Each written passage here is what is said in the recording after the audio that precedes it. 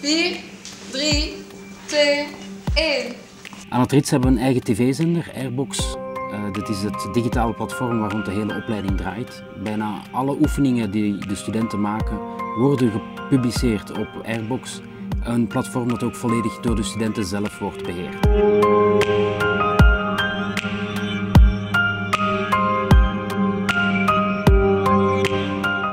Binnen de opleiding Professionele Bachelor Audiovisuele Kunsten geven we iedereen een brede opleiding. Maar om het voor iedereen leuk te maken, kan je toch een bepaald keuzetraject kiezen.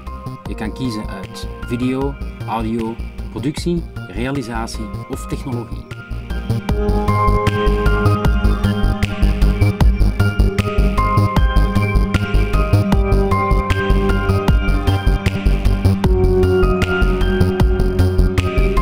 Al vanaf het eerste jaar richt je samen met je medestudenten productiehuizen op.